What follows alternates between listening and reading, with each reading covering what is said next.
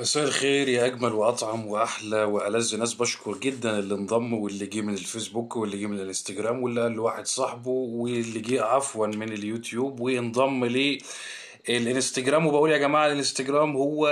يعني المكان الأكتر أو يعتبر الوحيد اللي بنعمل عليه لايفات اللي يحب إن هو نتكلم مع بعض كده ونرد مع بعض وكل ليلة بنسهر مع بعض ونتكلم في موضوع مهم من المواضيع اللي بتهمكم عشان بعد كده لما بنزل أحيانا live الانستجرام في ناس بتعتقد إن ال live شغال وبتسأل وتقول ما بتردش ليه؟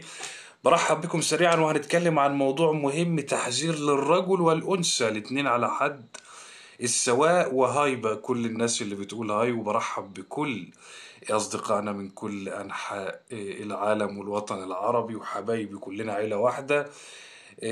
هنتكلم عن موضوع مهم وخطير. الضمان في العلاقة يؤدي إلى انسحاب مفاجئ آه، تركك ويشوف غيرك آه، يتغرى عليك يبقى عنيد معاك ما يعبركش. طيب عايزين نكون أكثر دقة وأنا بطول شوية على ما نبدأ إن إحنا نتجمع يعني بنحط الخطوط اللي هنمشي عليها. في الحلقة أولا إيه أسباب يعني أو أو إيه الضمان في العلاقة ده بيجي منين؟ ما إحنا بنسمع مسميات وعايزين نفسر ونفنط. يعني دلوقتي انت بتقول لي حبيبك ضمنك. طب أنا إيه اللي أنا عملته خلاه ضمني هما ثلاث أسباب ترتيبا من الأقل للأقوى؟ اسمع أو اسمعي معايا. إن كنت بتعملهم وقف فورا عشان تعمل توازن. الحق نفسك. لأن الضمان في العلاقة أنا قلت نتيجته آه، ما بتبقاش حلوة في النهاية. يا هيبعد ويسيبك يا هيتغرى عليك يا هيشوف غيرك يا هيبقى حاسس إن هو خسارة فيك المشكلة. المشكلة هنا لما الطرف اللي أنت مرتبط بيه يحس إن هو كتير عليك والضمان في العلاقة بيخلي ده يحصل. ويخليه يبص لغيرك لأنه عارف لا مؤاخذة إن أنت استبن sorry ما هو أنا هبص لغيرك ألعب بديلي شوية ما أنا عارف إن أنت موجود. أنت خلتني أضمنك. طب إيه أول حاجة؟ أول حاجة اهتمام بدون مقابل. يعني الشخص ده ما بيهتمش بس أنا بهتم. خلاص بقى. هياخد وقت يلعب بديله ووقت ما هيرجع لك ما أنت موجود. تمام؟ إيه، وقت ما يحب إن أنت تهتم بيه إيه، هيلاقيك. يبقى أنت بتهتم بالشخص أكتر ما هو بيهتم بيك سواء راجل أو ست. الكلام للطرفين. أنا في شخص بيهتم بيا بنسبة 30 وأنا بهتم بيه بنسبة 90 غلط.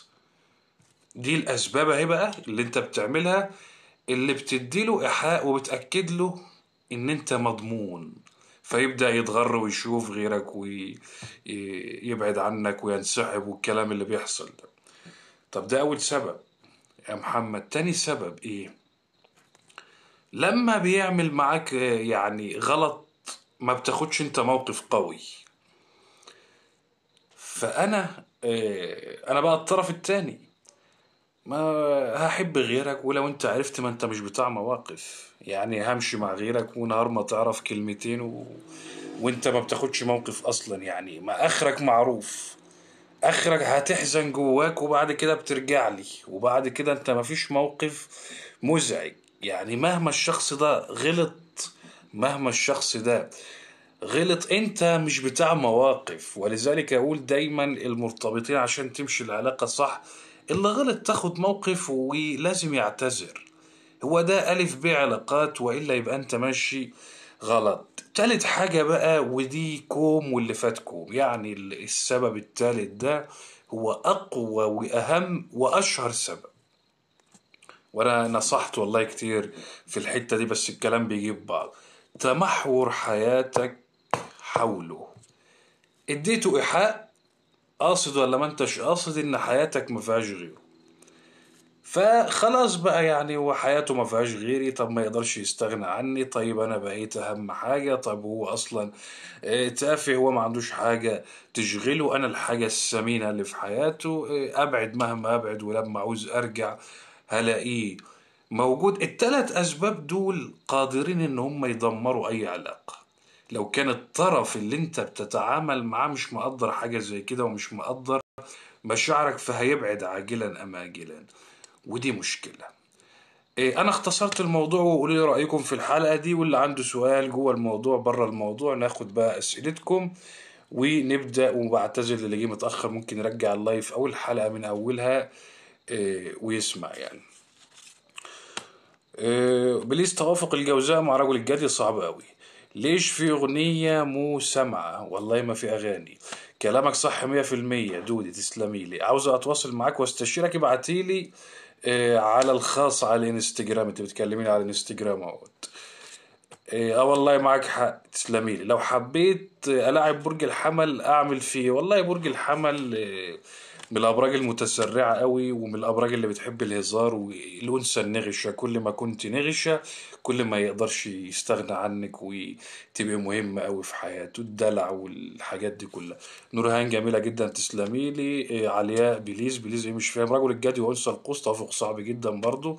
زيه زي رجل الجوزاء. يا قلبي لا تحزن قريبين من بعض. في إيه، حضرتك مش بترد على الانستجرام؟ لا والله برد بس يعني الرسائل كتير. يعني ممكن ممكن خمسين message كل يوم فأنا أقدر أرد على عشرة مثلا بالكتير. فغصب عني بي- بيطرحها الرسائل يا جماعة. معلش والنبي ما تزعلوا مني رجاء يعني. أنا نفسي والله أرد على كل الناس. رجل قوس مع أنثى جوزاء توافق يمشي وجيد ومرح وفي ت... وهما الاتنين بيحبوا الحياة. البرجين دول بيحبوا الحياة ولزاز وخفاف على القلب كده وتلاقي في كيمياء بينهم.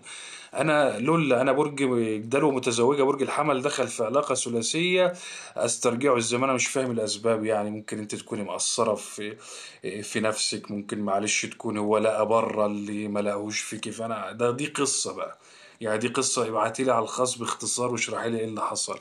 يا ريت تتكلم بالتفصيل عن توافق. انثى اسد مع رجل. هو التوافق صعب. ولما بيكون التوافق صعب أنا ما بحبش أتكلم ياما صعب الحاجات ياما قوي العذراء بطيء الأسد سريع الأسد عنيد والعذراء آه، ما بيهتمش قوي الأسد بيحب المدح والعذراء مش بتاع الكلام ده حاجات كتير قوي يعني. الأسد لو هي رومانسية لو هي أنثى فرومانسية العذراء لو هو رجل فبعيد عن الرومانسية شوية. طب شو أعمل؟ صار اللي صار بس بدي حل شو أعمل حتى أحل هالمشكلة. مشكلة إيه القوس والميزان صداقة كلهم بنات عسل عسلات الاتنين قوي. رجل أو امرأة أو راجل وست أو ست وراجل ما فيش أي مشكلة. الاتنين الدنيا بينهم peace أوي جميلة أوي وعشرة عشرة يعني ياخدوا على بعض بسرعة أوي للراجل لما ينهي علاقته مع بنت ما يعملش block بس بيتجاهل الرسائل وما بيردش. إيه تفسير الحركة دي؟ ولا تفسير الحركة دي إن هو سايبها استبن.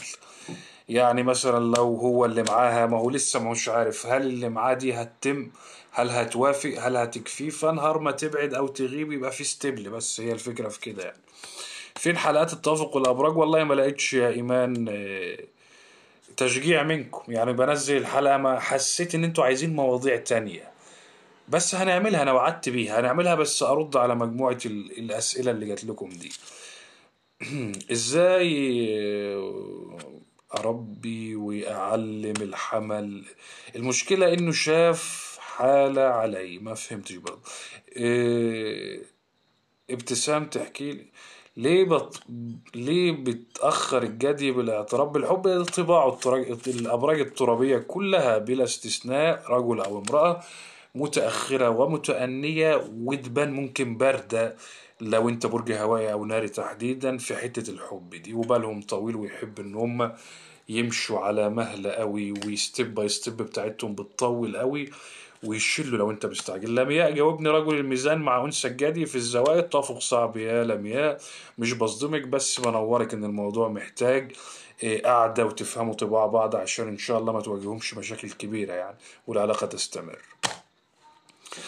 طيب يا جماعة حد معاه إيه، حد عنده أي سؤال تاني؟ جد يا حنون بس بارد أنا قوس راح أنجن منه. كيف حالك؟ الحمد لله والله بخير. أرى أعلم مش عارف أنا في يعني إزاي أعلم الحمل الأدب وأربيه من غير ما أخسره. أنت برج إيه؟ إيه، رجل العذراء إيه، صداقة الحمل والقوس. صداقة جميلة أوي فيها انجذاب وفيها كيمياء. ممكن حلقة عن أكثر الأبراج جنونا؟ حلوة والله الفكرة دي ندرسها. أكثر الأبراج. جنون طب يا جماعة هنكتفي بقى بالقدر ده مش هطول عليكم. عندنا حلقة إيه، مهمة إيه، أكتر رجال الأبراج اللي بتخاف من زوجاتها ومراتاتها. الحلقة دي نازلة على اليوتيوب حالا روحوا شوفوها إيه، ونازلة على الفيسبوك كمان. وإن شاء الله عندنا لايف بكرة. اللي ما اشتركش يشترك وهتوحشوني